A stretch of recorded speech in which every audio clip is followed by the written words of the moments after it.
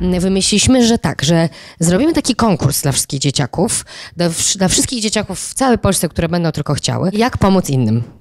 I możecie wybrać, komu chcecie pomóc. Możecie to zrobić w klasach, możecie to zrobić w grupach e, większych, mniejszych, zawsze pod opieką jednego nauczyciela. I jak już wymyślicie, co zrobić, to potem to albo nagrajcie, albo opiszcie, albo zróbcie prezentację i to wszystko przyślijcie do nas. Pomaganie wzięło się stąd, że kiedyś e, był taki u nas w szkole dzień na sportowo i właśnie widziałem takich wolontariuszy starszych ode mnie o kilka lat, bo ja wtedy byłem w pierwszej klasie podstawówki i mi się to spodobało.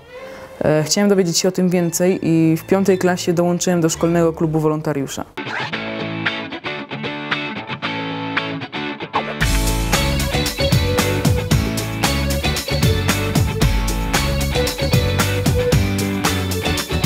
Bardzo dobry, wyjaśnia wszystko, wytłumacza, pokazuje, objaśnia. Nie mam poczty, panie To Aleksy. panu pokażę. I tu teraz kliknąć i załóż konto. Nie tak? Nie, tutaj musi pan najpierw załóż konto. O teraz, niech pan zobaczy. Imię, nazwisko, data urodzenia i płeć. E, Dobra, nie.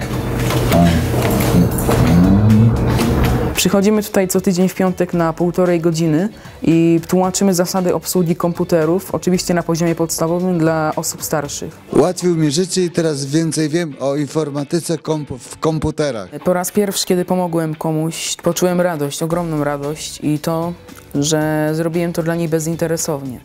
Było to dla mnie bardzo dobre uczucie, ponieważ wiedziałem, że ta osoba w jakiś sposób się uszczęśliwiła. Widziałem uśmiech na jej twarzy i to mnie motywuje do dalszych działań.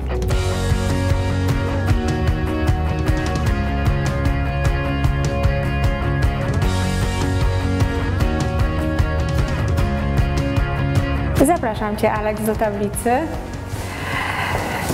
Ej, Czy znasz jakiś grzyb jednokomórkowy, jakiegoś przedstawiciela jednokomórkowych grzybów? Drożdże.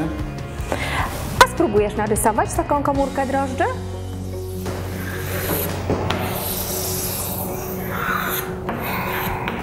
Drożdże mają ścianę komórkową i błonę komórkową, a także jądro i jest pokryte cytoplazmą. To jest mój wspaniały wolontariusz. E, e, Pracujemy już drugi rok razem, bo drugi rok jestem opiekunem i drugi rok pracuję z Aleksem. Jest bardzo wspaniałą osobą, bardzo kreatywną. Zasypuje nas e, pomysłami. Jest bardzo miły, pomocny, zawsze można na niego liczyć. Jeżeli mam jakiś problem, to zawsze mogę do niego podejść czy z matematyki, czy z polskiego. Jest dobrym człowiekiem, ma dużo pomysłów, jest kreatywny.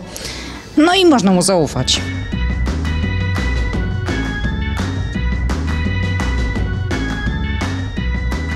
Efekt Domina to jest bardzo fajny konkurs, wspaniały program. Jest to bardzo fajny konkurs i chciałem go rozpowszechnić też w naszej szkole, żeby klasy w naszej szkole także wzięły w nim udział.